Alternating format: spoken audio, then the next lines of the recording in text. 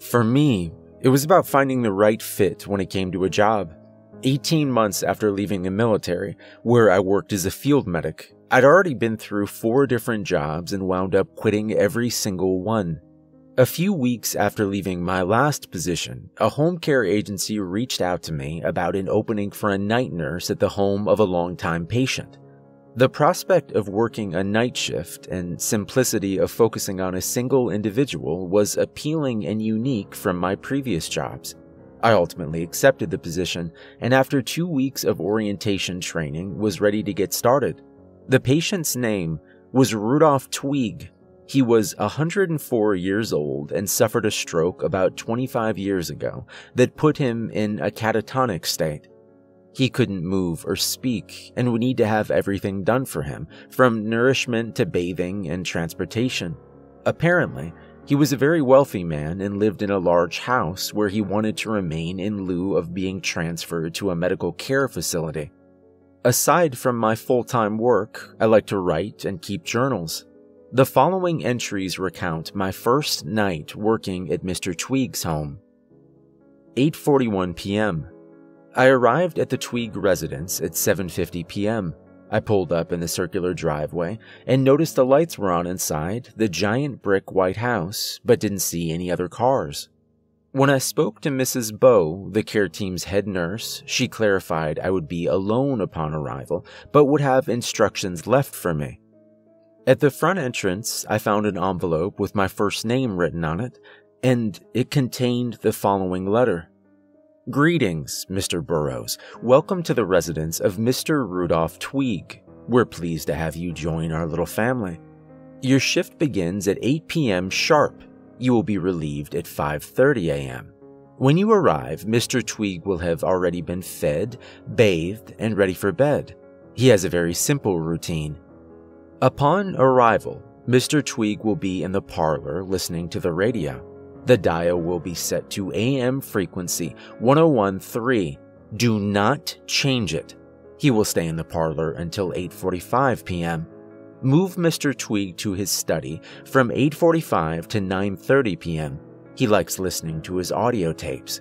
Follow the instructions on what tape to play for him that night. At 9 p.m., make sure all windows and doors leading outside are locked Mr. Tweague goes to bed at 9:30 p.m. Use the service elevator by the stairway to transport him upstairs. Set his hospital bed at a 25 degree angle. While Mr. Tweague is asleep, make sure his bedroom door is shut at all times and check in on him every 30 to 45 minutes. In addition, you must follow these seven important rules. Number one, there are nine mirrors in the house. After you put Mr. Tweague to bed, cover every mirror with a white sheet. Number two, you may find Mr. Tweague out of his room after you've put him to bed. If this happens, bring him back to his bedroom and lock the door. Number 3, if you receive a call on the landline from 10:45 to 11:30 p.m., the caller will have a message for Mr. Tweague. Write it down on the notepad and follow any specific instructions they may give you. Number 4. From 109 to 151 a.m., stay in Mr. Tweague's bedroom with the door locked. Otherwise, crawl on all fours if you fail to reach his room before that time. It can't see anything lower than 3 feet from the ground. If it comes near you, don't look up Number 5. The mannequins in Mr. Tweague's study like to roam the house after midnight. If you ever find both in the same place, disarm the mannequins and cover them with white sheets. Number 6. Inside the refrigerator is a lidded pot. At 2:59 a.m., set the pot on the top stair leading into the basement. Return for the pot at 3:37 a.m. and put it in the sink. Do not enter the basement under any circumstances. Number 7. If you hear the radio or television turn on, stop what you're doing and move to the second floor immediately. Remain there until it's quiet downstairs. Help yourself to any food or drinks in the kitchen. You may use the television in the den, radio in the parlor, or computer in the study, and you are free to explore the house. Contact the agency's 24 hour line if you need anything. Signed, Mrs. Bowie, head nurse. Mr. Tweague was in the parlor, just as the letter said. He was very frail and had a deathly pale, narrow, wrinkled face with dark circles under his sunken eyes, in a thin arch of scraggly grayish white hair lining the sides of his bald scalp. He was wearing a plaid wool robe and had another blanket tightly wrapped around his legs. His wheelchair was state of the art. It was able to recline, move vertically up and down, and even had smaller gadgets attached that were monitoring his vitals. While Mr. Tweague's appearance was somewhat unsettling, I did empathize and treated him like any ordinary patient. With a smile, I introduced myself to Mr. Tweague and explained what I would be doing. As expected, Mr. Tweague didn't respond and simply stared straight ahead with his rigid, stony, expressionless look on his face. The radio emitted bursts of static with gargled voices that were utterly indecipherable words and phrases. I double checked the dial to see if it was indeed set at AM 1013, remembering how I was instructed not to change the channel. I just finished my walkthrough of the house and found additional instructions on where the medical supplies were located, how to operate the service elevator, locations of every door, window, and mirror, along with a set of numbered keys and reference for the use of each one. It's time to bring Mr. Tweague to his study. 10:04 p.m. It took some time, but I just finished covering all the mirrors and am about to make a final sweep of all the windows and doors to make sure they're locked. I completed the rest of Mr. Tweague's routine without incident. The instructions in his study told me to play an audio tape on his cassette player, labeled AF029. I put headphones on Mr. Tweague so I couldn't hear what he was listening to, but could tell by the expression in his eyes he was fully engaged. The mannequins mentioned in Rule 5 were on either side of the bookshelf in his study. They were whitish beige and seemed to embody the female form with completely featureless faces. One had its hands placed on its hip, while the other hand's fingers lightly grasped the bottom of its chin as if the mannequin was in a state of thought. The other mannequin's hands were intertwined behind its head, and it stood in a coy, compelling pose. Both stood on their platforms and had the words Etta and Nina written on them, which I guessed were their names. I noticed Etta had a crack running down the center of its face, while Nina was missing its left index and pinky fingers. I jokingly introduced myself and even asked them not to sneak up on me since I scared easily. The house's rules are quite peculiar the more I think about it, but I wouldn't be surprised if some of them are part of an indoctrination joke they pull on newcomers. I'm anxious to learn more when I speak with Mrs. Bowie, who's worked for Mr. Tweague since before he got sick. I'm sure she knows everything there is about his past and this house. 10:49 p.m. I thought I heard giggling or crying. I couldn't tell which it was. It seemed like it was coming from the walls. I heard it in the kitchen, living room, den, and upstairs hallway. It would appear and fade randomly. I may have just been hearing things. It's an old house, after all. 12:06 a.m. About an hour ago, I received a strange phone call on the house's landline. I probably shouldn't feel this way, since Rule 3 mentioned this might happen. When I answered, there was a lot of static on the other end, eerily similar to the radio station Mr. Tweague was listening to in the parlor. After asking who it was, a deep, raspy male voice with an unidentifiable accent told me to let Mr. Tweague know that everything was going according to plan in somewhat of a sinister sounding tone. He then told me to open the basement door and relay the same message from the top of the stairs. The most unnerving part about the call was whoever I spoke with addressed me by my first name. This really threw me off guard, but I rationalized that Mrs. Bowie probably told him who I was at some point.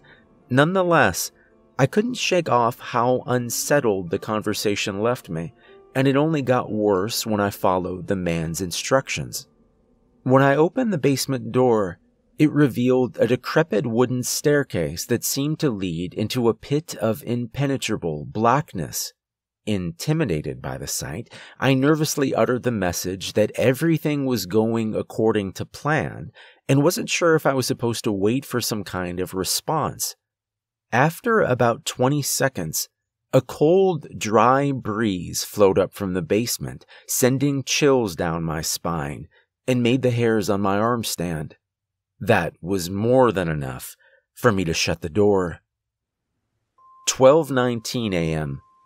I keep hearing scratching noises. They're coming from the floor. I think Mr. Tweague hears them as well. 12:41 a.m. I can't explain what just happened to me. I did another check on Mr. Tweague, and when I was walking down the stairs, I felt this concentrated burning across my forehead. It was brief, but so sharp and intense I almost tumbled down the stairs. I swiped the area with my fingers, which, to my horror, were covered in blood. I ran to the bathroom and tore off the sheet covering the mirror. I had a cut running diagonally down the left side of my forehead from where blood was streaming down my face. Pressing some tissues over the cut, I opened the mirror and checked the medicine cabinet for band aids. I found one, but as I closed the cabinet and glanced in the mirror, I caught the parting trails of someone in a white dress or gown gliding down the hall. I quickly spun around and remained frozen in place for a good five minutes. After nothing happened, I convinced myself it was just a figment of my imagination. I applied the band aid to my forehead and put the white sheet back on the mirror. Some of the blood I wiped off my forehead had gotten on the sheet I was alarmed at first, but remembered reading in the instructions there were extra white sheets in the linen closet on the second floor. When I stepped out of the bathroom, I screamed at the top of my lungs and almost fell backward when I was greeted by the sight of Mr. Tweague sitting in his wheelchair. The old man was hunched forward, his withered head hanging and arms dangling at his side like he was ashamed of being found. I hastily returned him to bed and locked the bedroom door, remembering the instructions from Rule 2. Maybe it's the solitude or first day jitters, but I'm starting to have my doubts about working at this place. I have no idea how I got that cut on my forehead, and after that experience with Mr. Tweague, I'm very tempted to just get up and leave. The thought of leaving Mr. Tweague alone, however, is what's ultimately forcing me to stay. 1:03 a.m. After my spontaneous bleeding episode, I've been in the study to try and calm my nerves by listening to some music and checking my social media. I was distracted by one of the desk drawers being partly open, and being the compulsive person that I am, I tried shutting it, but realized it was stuck when I pulled out the drawer to flatten everything inside, a white manila folder caught my eye. I'm normally not an intrusive person, but my curiosity got the best of me when I saw Case B071 and a red X written on the label. The folder contained a cluster of papers, with the top one being a file on a young girl whose name was blacked out. The file appeared to be some sort of medical record and dated back to 1984. There were some notes jotted under a box labeled symptoms, which made me extremely uneasy as I read through them. Skin discoloration now at 80%, exhibiting extreme human strength, leather restraints starting to give. Screams breaching soundproof barriers, increased tranquilizer dosage proving ineffective. Another box labeled Notes read Approaching 180 days, conditions worsening, is now completely despondent. Parents are growing impatient and demanding answers, running out of options. Might have to call in friends from the city, but it might be too late. IE's conditions for release are ludicrous and damning, but we might not have any other choice. That was as far as I read when I realized something in the corner of my eye and froze. The mannequins were gone. 1:57 a.m. I don't know what to do. I'm too afraid to leave Mr. Tweague's bedroom. I went downstairs and got a soda from the fridge. When I turned around, my eyes were inches away from the tip of a kitchen knife held by one of the mannequins. It was Etta, who I recognized from the crack running down its face.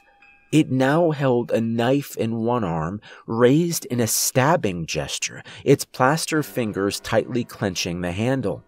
Behind it was Nina, who brandished a meat cleaver in one hand and a bread knife in the other.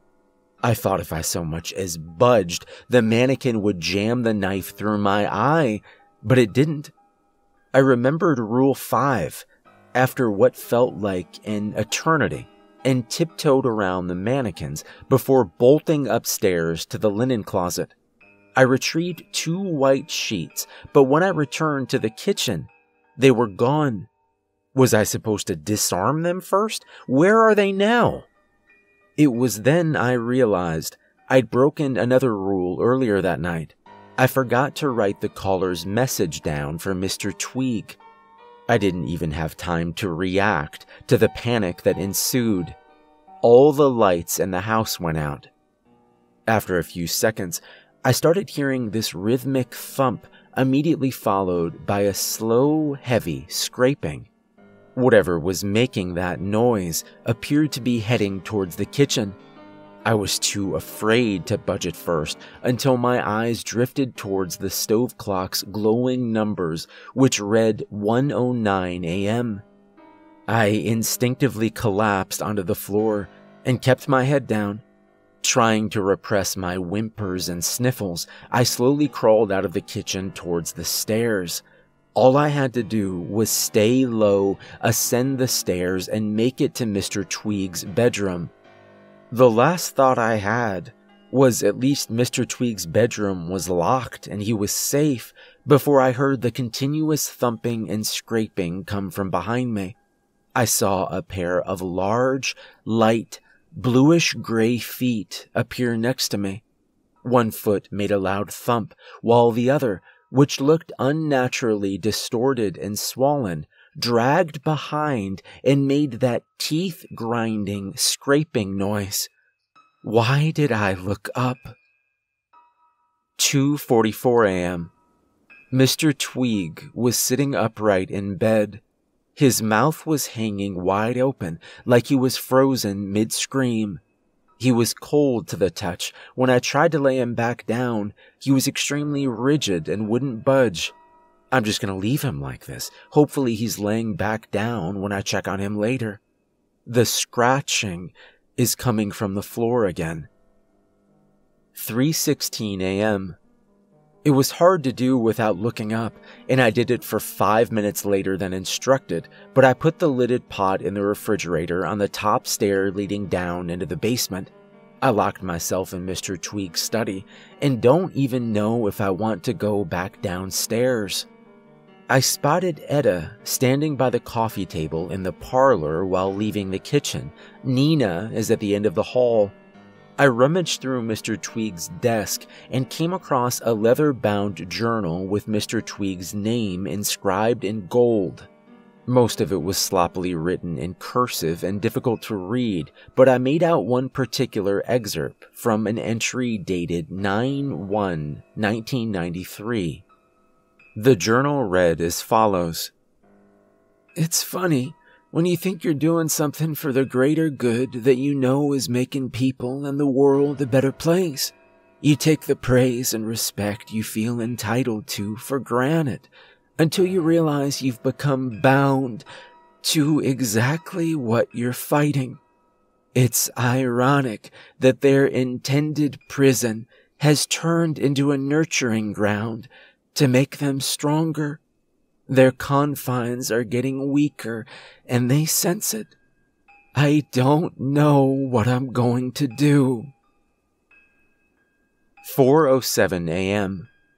I don't have the strength to crawl up the stairs. It's hard enough to do without looking up. All I can do is write. I mustered up the courage to retrieve the pot before the deadline. When I opened the basement door, it was no longer on the top stair.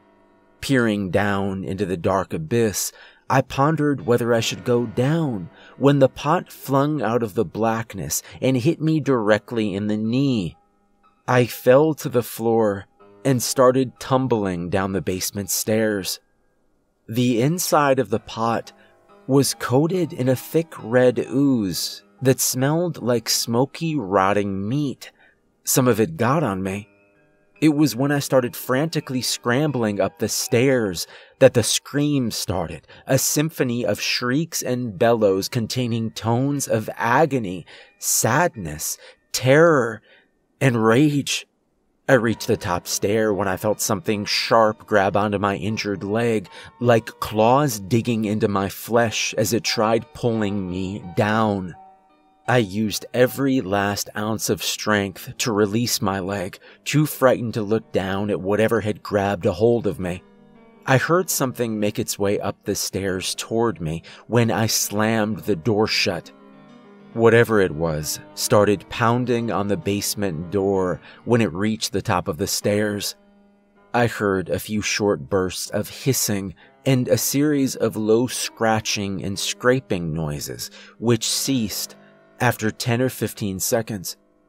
I'm pretty sure my kneecap is shattered and the lower half of my shin is covered in deep slash marks that formed a steady, smeary blood trail behind me. The pain is unbearable. I'm hoping if I lay here, I can eventually drift off and be discovered by the first arriving member of the daycare team at 5:30 a.m. Or not. I just heard a sound in the den. I think the television turned on.